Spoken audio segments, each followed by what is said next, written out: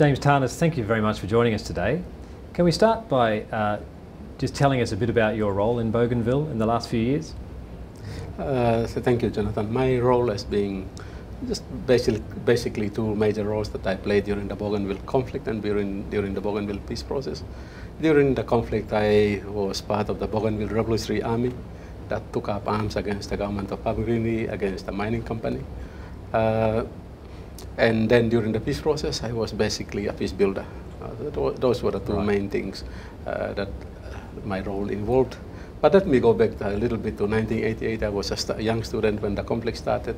Because I come from the district where the conflict started, right. I was unable to go to school. I stayed back in the village.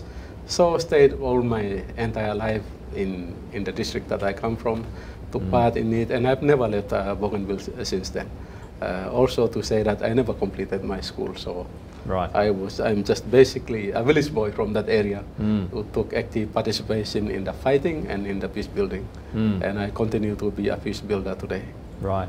Yeah. And back when you were a student prior to the conflict, you you never dreamed you would one day be president? I never dreamed that one day I will be the president. In fact, I hated politics so much that I decided not to take social sciences in school. Right. I was just majoring in mathematics, science, and strangely, I was studying Japanese language. So right. I, and in the end, I ended up uh, starting to be an accountant, thinking that I would take up a profession where I can spend some quiet time behind the doors, just playing around with figures mm. and balancing the books. Mm. So and what was, the, what was the sequence of events that led you to become president?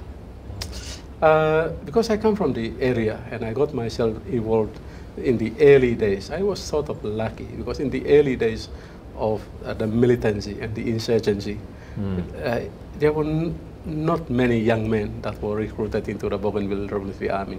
But because I come from the district, the Panguna district, where the prob uh, problem started from, I naturally just uh, entered into the Bougainville Revolutionary Army, and I was one of the few educated ones, just not high level of education, but just enough right. level of education to, to at least carry a weapon, but at the same time carry a pen and a paper.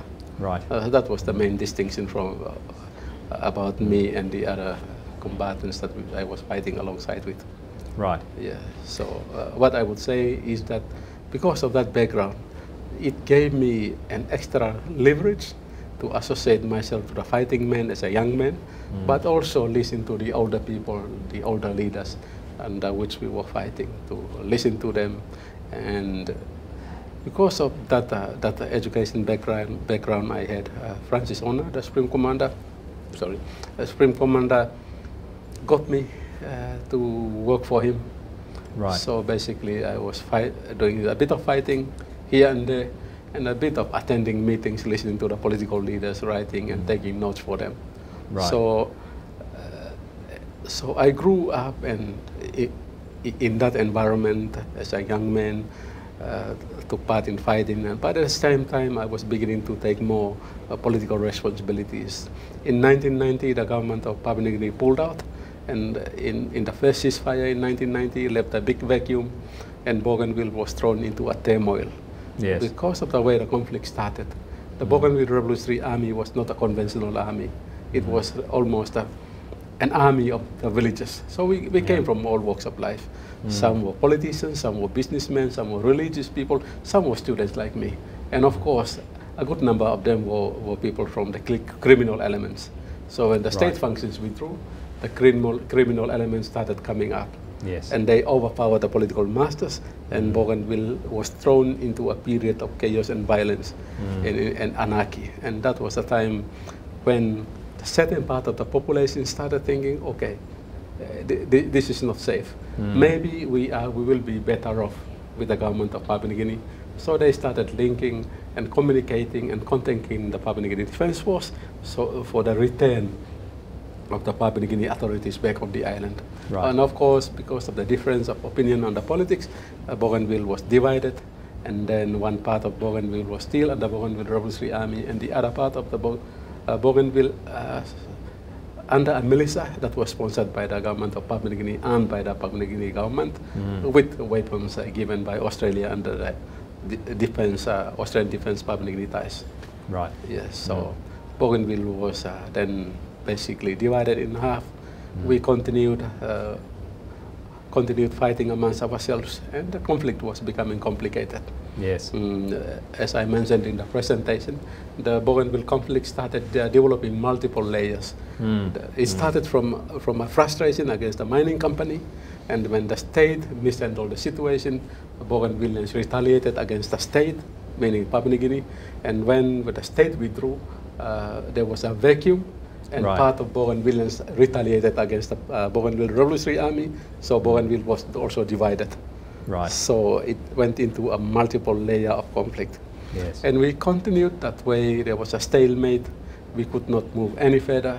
Mm. Uh, Papua New Guinea government nor the Bougainville side um, uh, would uh, do any progress forward. Mm. But when that was happening, uh, the, the victims were the civil society, people were suffering. So Yes. there, there had to be a way out. Mm. And the way out was first attempted by the government of Papua New Guinea when they hired uh, a uh, South African-based m- mercenaries that was called Executive Outcomes. Right. Outcomes that was not very well received by the military in Papua New Guinea. Mm. For, for the government of Papua New Guinea to hire a mercenary company outside of Papua New Guinea was seen as a vote of no confidence against their own state institution. Sure. So the Mm. Papua New Guinea Defense Force it revolted against uh, the government of Papua New Guinea, bit of Mm. problems in Mosby. The prime minister resigned. Mm. But when that was happening, it gave one thing to the Bougainville Revolutionary Army. It gave an immediate uh, sympathy in Papua New Guinea, sympathy Yes. on Bougainville, and also sympathy abroad. Right. And that brought in uh, a big amount of international attention, Mm. and uh, that uh, also sent a powerful message to Bougainvilleans that time has come for us to reunite. Mm. And Mm. also, as I was I mentioned in my presentation earlier, was that there was now a thinking in the Bougainville Revolutionary Army leadership that the guerrilla warfare tactics were now failing. Mm. We had to move to a higher level, Right. meaning the higher level was now of diplomacy, negotiations, and uh, peace and dialogue and reconciliations. Right. And of course, what was clear in our minds was that the, the weapons we were holding were no longer going to play a major role. Mm. Our major weapon would be international credibility and Mm. friendship, trust, and respect. Mm. Uh, and they will be more of the important tools that we will be needing for peace building. But during the process that I just mentioned, Yes. I, from a student, I became a fighter. Then from a fighter, I was also playing more of a clerical and administrative roles within the Bougainville Revolutionary Army. And then around 1993, uh, 1993, yeah, 1993, I resigned from Mm. the Bougainville Revolutionary Army and just decided to stay in the village. Mm. And then I re-entered the Bougainville Revolutionary Army with a very totally different function that I thought I would never do also. Mm. That was to do, work with the chiefs uh, in the village and, and take more active responsibilities in political, political awareness and political education. Right. What we noticed then was that, look, to us, what is independence? Mm. We call this word independence, and not many people knew what independence was. Mm. So what we did was we formed a small group, uh, a group of a discussion group where we would just we would sit down, criticize ourselves, criticize our leaders, and just to think uh, if we are on the right track. Right. But out of that discussion group, what we came up with is a political education program Mm. that give, that started giving out a basic political awareness Mm. on what independence is Mm. and what state building is, what peace is, and what we can do and what we cannot do. And of course, an important part of it was to recognize our own limitation. Mm. Our own limitation was first one, we were aware that the international community there was no third nation sponsoring Bougainville independence and sponsoring uh, the Bougainville Revolutionary, uh, Revolutionary Army. We were alone on an isolated island. Right. So we had to think. And second, the international community continued changing. Mm. And if we continue to drag on, we will lose support. And of course, our people were changing. Mm. Uh, in the end, we will, we, we will lose people. And also, the s- most of our commanders were getting killed. Mm. And also, as I mentioned in my presentation earlier, two things that characterize Bougainville warfare is the ability to start it and the ability to end it. Right. And traditionally, even from our, the days of our grandfathers, if you start a war, you must make sure you end it within your time so mm. that you do not lose the objectives of the, of the conflict. Mm. Anyway, so we started, we formed that group. I designed a small political education program. We conducted it in the villages with the fighting men, with the chiefs. And quickly, uh, I mean, slowly, it got recognition mm. from, from the leaders of the struggle. So I was asked then to join the political leadership. Right. And then I was appointed the Minister for Peace, uh, even I, I think two years before the start of the formal peace process. Right. So what it gave us was that even in the Bougainville Revolutionary Army, even during the days of fighting, there was already a small core unit in the Mm. Bougainville Revolutionary Army that was thinking peace, and that was uh, that was thinking peace, discussing peace. So that we already had a grassroots initiative going. In fact, some of the reconciliations that we had actually started before the signing of, of the formal uh, peace process Right. uh, with the Mm. other Bougainville factions and also with the government of Papua New Guinea. Mm. And of course, Mm. longer uh, before the long before the arrival of the neutral peace Mm. monitoring groups Mm. and the United Nations observer mission. Right. So, w- the most important thing maybe that I would leave in this seminar Mm. is to say that peace can be advocated, peace can be attempted to be enforced, but peace really starts with those who, who hold on. Uh, peace actually will hold on until those who, who are in, uh, in the center of the fighting decide to accept peace. Right. Yes, a lot of Bougainvillean, few, in fact, few Bougainvillean leaders lost their lives. Few civilians lost their lives in their attempts, attempts for peace. Mm, Uh, mm. So, but the, the difference with this uh, peace process at the moment, the current peace process, is that the peace process now is held on because it is based on a decision that was made by the Bougainville Revolutionary Army. Right. Mm. So You- it's not, it's not that because we have a magic, uh, magic formula or that. Mm. It's simply because of the fact that we were the ones that were doing the fighting. Mm. And we were the ones we had to accept peace and leave peace. You mentioned that, that at the height of the conflict, there were sort of multiple layers. Mm. I, I guess you reach a point where, where some of the objectives start to get a bit lost. Yeah, the, so the objective started getting lost uh, right after 1990 Right. mm, because the main two objectives were uh, based on the grievance against the mining company. Mm. And then from that, it evol- evolved into a long-standing issue over the question of Bougainville ind- independence away from Papua New Guinea. Right. But then it was getting lost into into just pure hatred, Mm. and also certain groups were abusing that vacuum, Mm. the situation to score their own, uh, to settle their own scores. Yes. So there was some personalized conflicts. Right. So we were beginning to lose it, and, And- I must and, say that we yeah, we are actually lucky Yeah. that we had to end the conflict before the two original agendas were Mm. or, uh, were lost. And, and uh, so just summarising one of your points there, the turning point really came when the focus went from conflict to Mm. dialogue about what everyone wanted to achieve. Yes. Right. Yes, the turning point came when those of us who were in the center of the fighting realized that fighting was no longer, fighting would not achieve anything. Right. We had to move on, we had to adapt. Right. Mm. So, um, so tell me about your involvement in the in the peacekeeping process now. Now, what what drives you to continue after so many years of, I guess, living with conflict and having been Mm. involved in the in the Mm. process of resolving Yeah, that? I'll, I'll, I'll go back to the time when I was, um, I was the Minister for Peace. Mm. Within the Bougainville Revolutionary Army, I started uh, working as a Minister for Peace when the Peace Monitoring Group uh, started coming in. Mm. Naturally, I was the main person within the Right. Bougainville Revolutionary Army that started linking and uh, started connecting at a grassroots level Yes. to, to now change into the new situation. Yes. But before that, because we were in a, in, in a blo- blockade situation, Mm. we could not get much information from the outside. Mm. But and one day while in the bush, we got a book. the, the book was written by Nelson Mandela, long walk to freedom. Right. And one of the important statements he made was you cannot make peace by talking to your friends, but you have to make peace by talking to your enemies. Right. And during the presentation, I mentioned that we had a difficult time trying to adjust to the Australian participation because of the Mm. colonial history and the mining history we had. To us, Australia was the enemy. Mm. Uh, but, but we had to find a way out. Mm. Yes.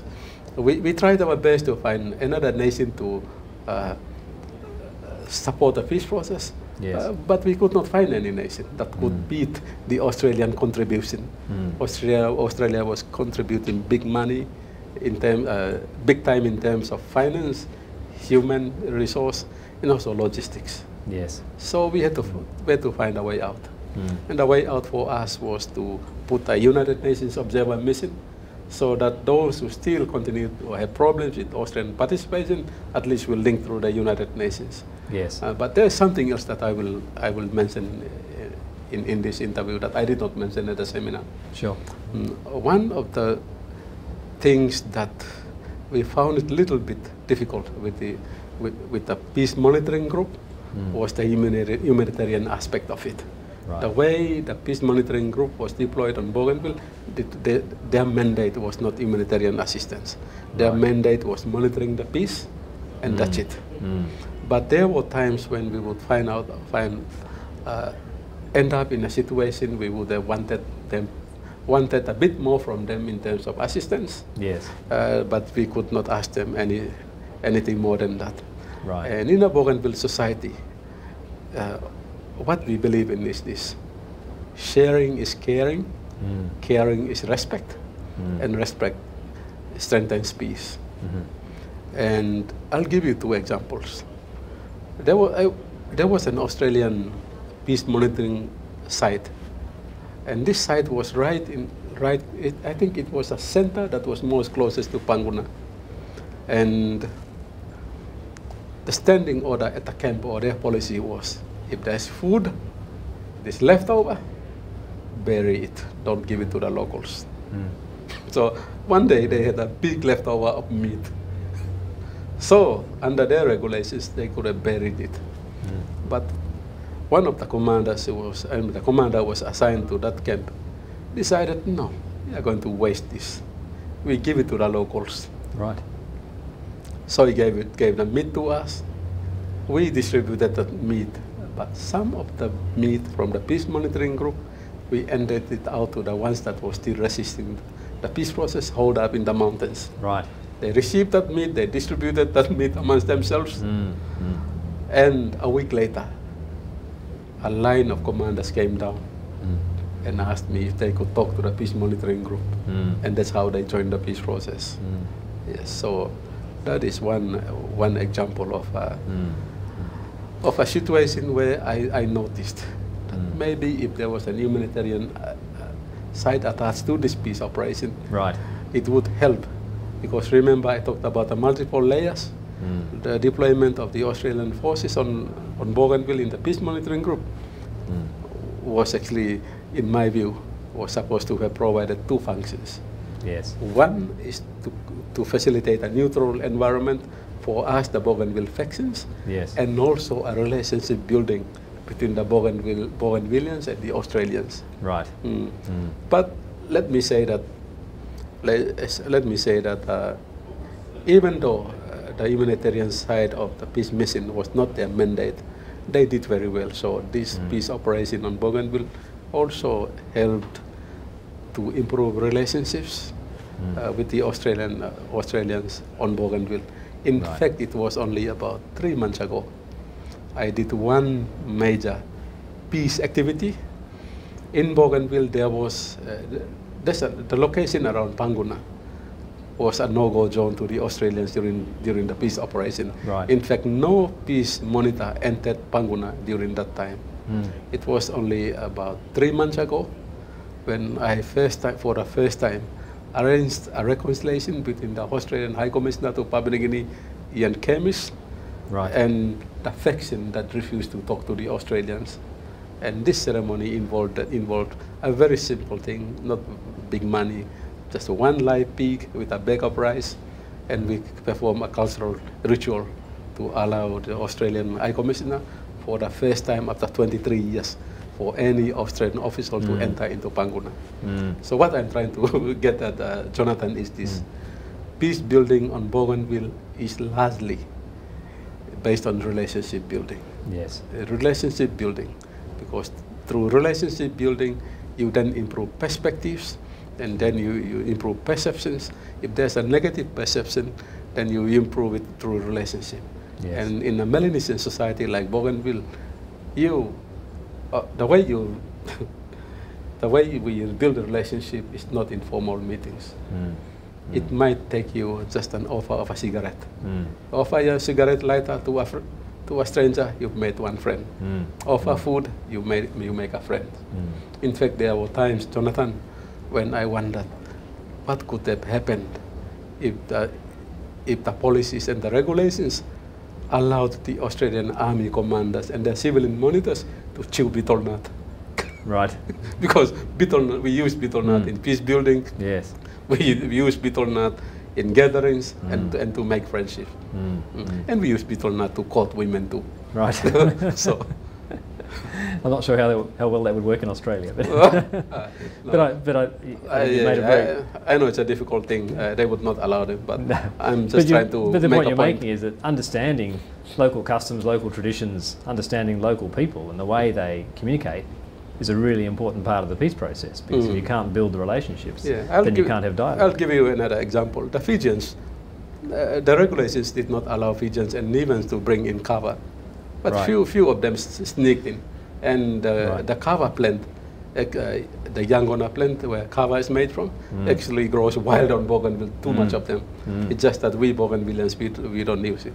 Right. So they did uh, use some, sneaked in some, used that opportunity to build relationships. Mm. Mm. So Right. because the official mandate of the peace monitoring group did not have a humanitarian assistance where sharing can be Mm. part of the program, Mm. uh, yeah, few people broke rules to build relationships, Mm. and it worked for the peace process. And it sounds like it, it, it's- it's a lesson learned for the future hmm in similar situations. Yes, James Tanis, thank you very much for your time today. my pleasure.